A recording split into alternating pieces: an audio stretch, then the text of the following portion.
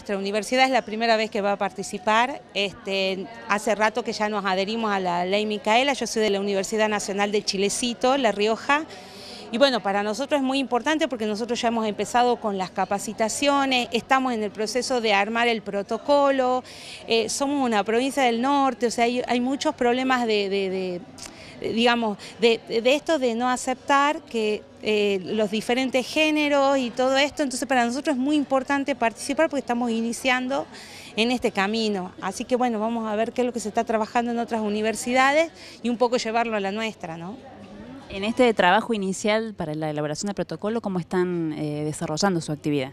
Bueno, nosotros estamos trabajando en forma conjunta con eh, no docentes, docentes de los diferentes, eh, de los diferentes grupos este, y con la parte legal de la universidad y también empezando a armar lo que va a ser el ente que va a digamos, a trabajar con los problemas de género, ¿no? de violencia de género, eh, viendo si va a ser una dirección, viendo si va a estar dentro de alguna secretaría, o sea, armándonos en, este sentido.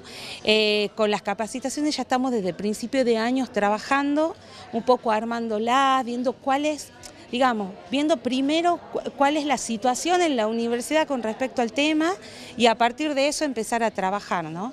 Pero bueno, estamos tratando de hacerlo lo más participativo posible. ¿Cuáles serían algunas, eh, cuál es la situación actual, algunas cuestiones que aparecen en la organización de estas capacitaciones?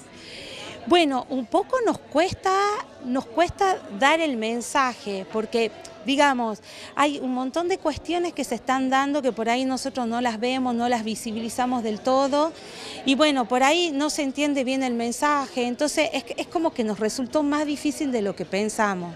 Este, pero bueno, es la cuestión de empezar a trabajar y empezar a ver qué es lo que piensa la gente, cómo lo ve. El problema es esta, estas cuestiones que no se visibilizan, ¿no? Es, es lo que más queremos trabajar. Hay ciertos problemas de violencia que no se visibilizan, que no se ven como tal. Y esas son las cosas que me parece que hay que empezar a, a hacerlas visibles y a decir, bueno, esto no está bien, no, es, no está bien que pasen este tipo de cosas.